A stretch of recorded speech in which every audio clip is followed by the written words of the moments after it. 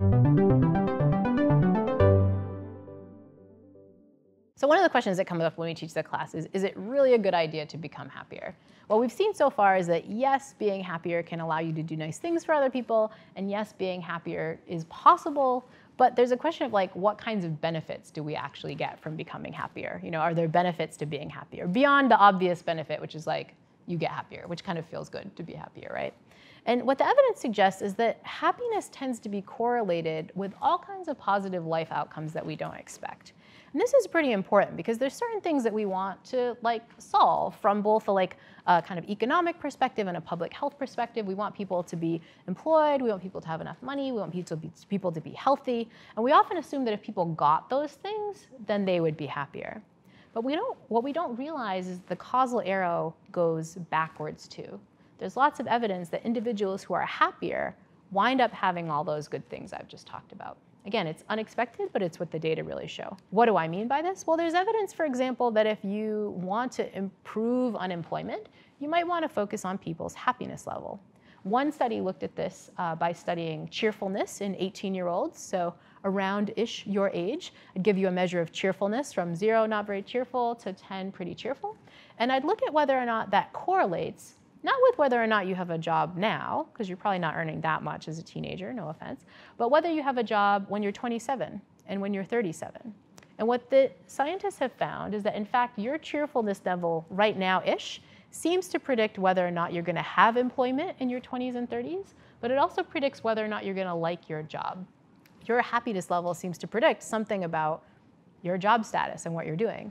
Your happiness level right now also seems to predict something about the money that you might be earning in your 20s and 30s. We often think that money leads to happiness, like if we get more money, we'll feel happier. But the evidence suggests just the opposite. Individuals who are happier wind up earning more money in their job. They wind up having higher salaries. And you could ask, like, why is that? What's going on? Well, it turns out that happiness affects our decision making. Um, there's lots of evidence that if you want a good innovative thinker, you might want to put them in a good mood. Um, one study looked at this in doctors, where they brought doctors into the lab and gave doctors like a hard medical problem, like one of these things on these like health TV shows where it's like, I can't figure out like what the disease is or something. So some hard problem for doctors, but they put some doctors in a good mood ahead of time. Um, what do they find? The doctors who watch a silly, funny cat video, who happen to be in a better mood, they wind up coming up with the right solution to this innovative problem. So just putting yourself in a good mood can probably get you through you know, some tough homework assignment that you don't find because we think better, we think more innovatively and more big picture when we're happier. So it's affecting our job performance, it's affecting our salary. It's also affecting our relationships. People who are happier wind up being in happier marriages and happier relationships, having happier friendships, right? And you can imagine why, like if you're happier, you're just a better friend, a better partner, and so on. But happiness also seems to affect our immune system. There's evidence, for example, that if people are exposed to a rhinovirus, um, these days when we're chatting, we're all talking about coronaviruses, but rhinoviruses are the viruses that cause a common cold. So you bring subjects into the lab, everybody gets a little syringe up their nose of rhinovirus, so everybody's exposed. And the question is who gets sick? And we measure people's positive style. Do you tend to have like a kind of optimistic positive style, like you're a happy, upbeat person, or do you kind of low positive style? What you find is that individuals who have the higher positive style get significantly less colds.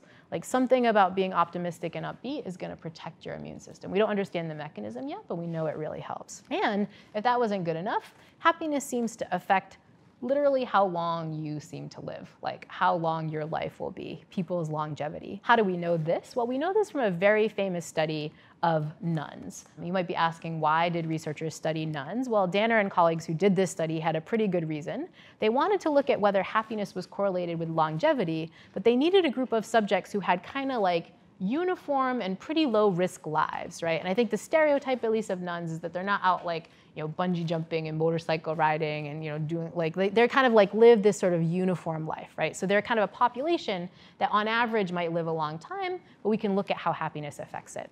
And the way they studied this was again to look at what the happiness level that these nuns showed, not late in life, but relatively early in life, when these nuns first joined the nunnery.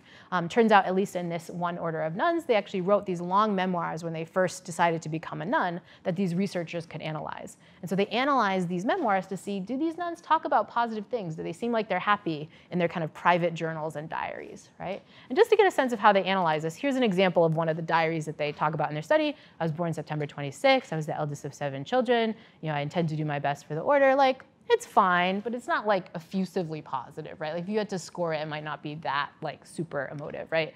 Versus something like this. God started my life off well. He bestowed me in grace of inestimable value. Like all these years have been a happy one. I have all this, like, like that nun is like, we're gonna score her a little higher probably, right? And so we score all these things, and then you come back and you look at which nuns make it to age 85.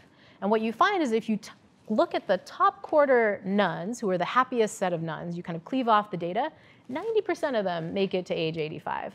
But if you cleave off the bottom quarter of nuns, only 34% of them make it. This is incredible, right? Because we're looking at these nuns like journals when they're about your age. It's like I pull your journal now and I try to see if that's going to predict whether or not you're going to last till age 85, right? But not just till age 85, you see the same effect when you look even later. 54% of the top quartile of happy nuns seem to make it to age 94, but only around 11% of the bottom quartile of nuns, right? What does this mean? This means that happiness matters, right? It matters for the things that we care about from a public health perspective. It matters how you're going to respond to if you get exposed to a virus. It matters how you're going to perform on the job and what the kind of money that you're going to make based on your contribution. Happiness is going to matter a lot more than we think.